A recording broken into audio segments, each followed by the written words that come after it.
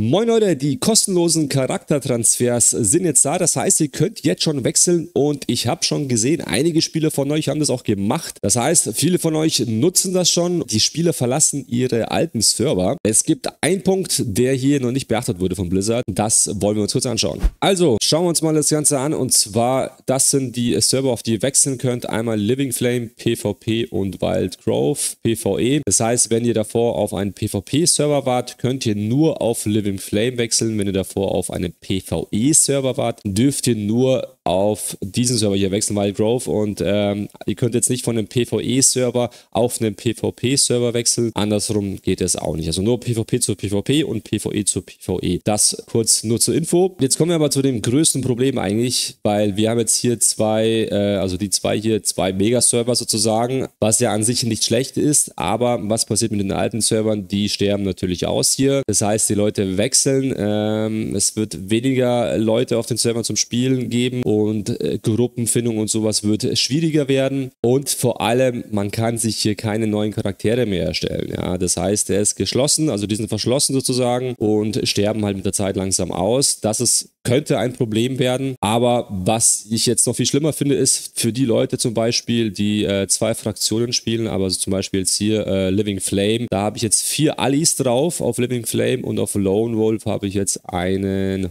Hordi. Ist jetzt bei mir nicht so schlimm, ja, also ich habe jetzt nur einen äh, Schamanen, der ist Level 33.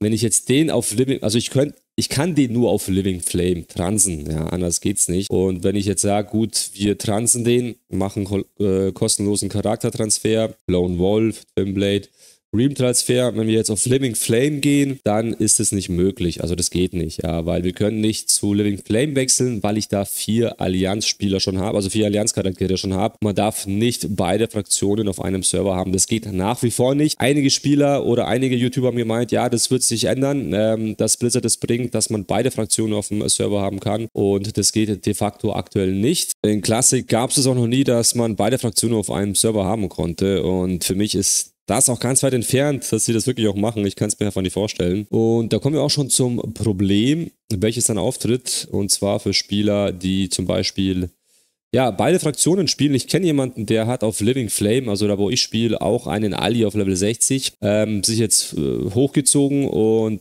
auf Lone Wolf, glaube ich, hat er drei Hordis, also drei Horde-Charaktere. Ähm, und mit denen kann er jetzt natürlich nicht wechseln. Er kann nur auf Living Flame wechseln, ja, weil es ein PvP-Server ist. Wird aber nicht gehen, da er da einen Allianz-Spieler hatte. Das heißt, er müsste den Allianz-Char löschen und dann könnte er es machen. So, die Frage ist jetzt natürlich, was macht Blizzard? Blizzard hat sich hier noch gar nicht dazu geäußert. Sie könnten einen kostenlosen Fraktionswechsel anbieten. Das heißt, dass der hier zum Beispiel nur auf Living Flame spielen will, dass er bei seinen Horde-Spielern einfach den, einen Fraktionswechsel macht, dass sie dann Allies werden und dass er dann auf Living Flame wechseln kann. Das wäre eine Möglichkeit, weil man weiß halt nicht, was mit den anderen Servern passiert. Sterben die aus? Sind die dann noch spielbar oder nicht? Und für die Leute, wie gesagt, die zwei Fraktionen haben, ist diese Tatsache natürlich blöd. So ist Stand der Dinge. Blizzard hat sich, wie gesagt, dazu noch nicht geäußert. Ich würde dennoch eure Meinung dazu hören. Wie, wie seht ihr das? Seht ihr das nicht so wild? Die meisten wahrscheinlich spielen eh nur eine Fraktion, aber trotzdem, es gibt einige auch, die zwei Fraktionen spielen und die haben alles Problem aktuell. Also ich könnte jetzt mit meinem Shami auch nicht wechseln. Schreibt es bitte in die Kommentare, wie ihr das findet. Äh, vielleicht habt ihr auch Verbesserungsvorschläge, wie Blizzard das klären könnte, lösen könnte. Würde mich sehr freuen auf jeden Fall. Vielen Dank fürs Zuschauen und bis zum nächsten Video.